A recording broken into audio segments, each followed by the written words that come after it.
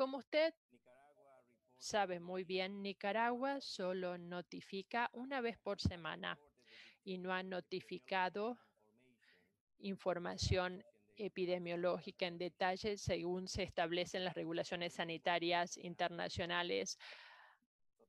A pesar de diferentes solicitudes por escrito y orales. Entonces, esto incluye, por ejemplo, datos desagregados por género, edad, lugar, número de pruebas. Todavía hemos solicitado, pero no hemos recibido esta información. Esta falta de información no ha permitido a la OPS evaluar correctamente la situación y ante la falta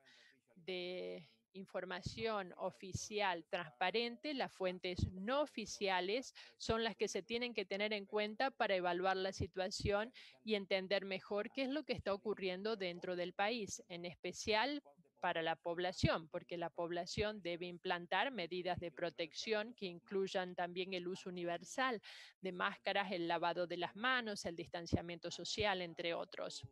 También me gustaría destacar que a fin de evaluar correctamente la situación, la OPS ha solicitado que se le permita enviar a un grupo de expertos y este grupo de expertos